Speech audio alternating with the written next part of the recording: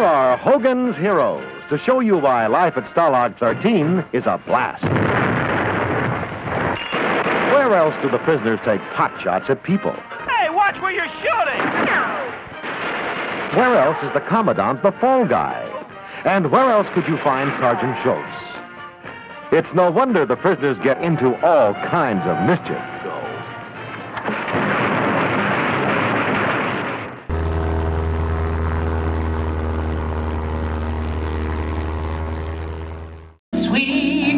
Sunbeams find you. Sweet dreams that leave all worries behind you. John Ricciutti from Mainline Public Television and Radnor Studio 21. And I'm here at Dunwoody Estates today with Frank Burke. Frank Burke was a waist gunner in a B 17 bomber when he was shot down. He became a prisoner of war and he was a resident of Stalag 17. Uh, thank you very much for coming on today Right. and meeting with us and talking to us about your experiences in World War II. Frank, did, did, were you drafted or No, did you enlist? I enlisted. I was classified for bombardier training, but they, uh, the uh, Eighth Air Force was engaged by this time, flying over Germany. They didn't need a, a bombardier, but they need gunners.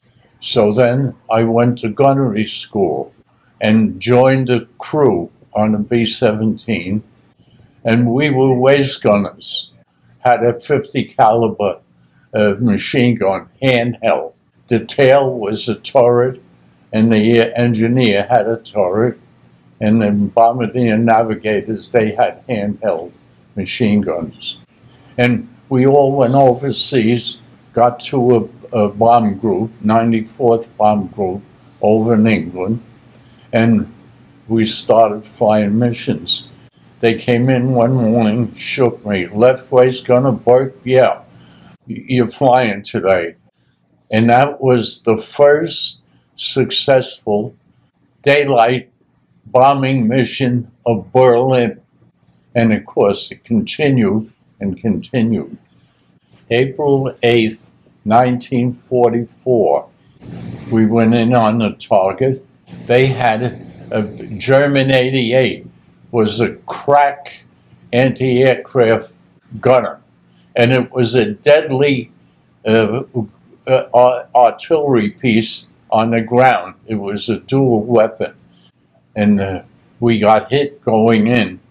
Uh, one engine was uh, knocked out. I was hit in the left knee, and the pilot screamed to us, "Get out and get out in a hurry!" The parachute was next to me. We, I snapped it on, kicked the door out, and I tumbled out after it.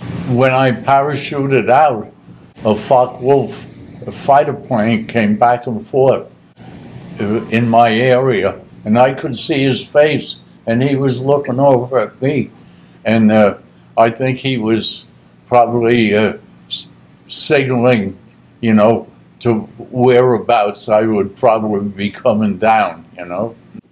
When they rounded eight of us up, the pilot and co-pilot never uh, got out of that plane that blew up. Then they sent us to a main interrogation center. And then from there, I was spent five days on a boxcar going to uh, Stalag 17 outside of Krems, Austria. And there were 4,300 uh, enlisted men in that camp. Stalag 17, the movie and everything, and the play on Broadway was written by two guys in Stalag 17. It became a Broadway play and then a picture with uh, William Holden, and he won the Academy Award for it. Morale was perfect. They did a lot. They uh, Red Cross sent instruments. There was enough of 4,300. You had enough good professional band per- performers. Uh, they would put on little plays. I know I was still uh, had trouble with my leg, and uh, uh, when I first came in there, and I watched them, and they put on a little play, and they had like uh, guys dressed up as girls, and they were all whooping and clapping and everything. I said, "What the hell's the matter with these guys?" but they were, the morale was tops. Why not drop in on Stalag 13? You'll meet the greatest bunch of screwballs in the world. We were on a forced march towards the end of the war. We walked by Mauthausen, which was a German concentration camp in Austria. And coming along the road, the guards that were marching with us said, You see these people coming up, they're, Ger- they're Jews, and they're in all like pajamas striped some of them didn't even have shoes on them. And he said, don't go looking over at them or anything else. The, the SS has them, and they'll take you and throw you right in with them. And uh, I was on the outside flank, and two men were dragging one of these unfortunates along, and his knees were scraping on the ground. Uh, he, as they, I approached, and he looked up at them and said, "Ah, ah, ah," and they dropped them, Right. As I approached him, a German guard pulled a pistol out, shot him right at my feet. Hmm. That was the worst thing that ever happened to me in the war and the tears were coming down my face because I was so frustrated to see this happen. Hmm. And there were other bodies along that road.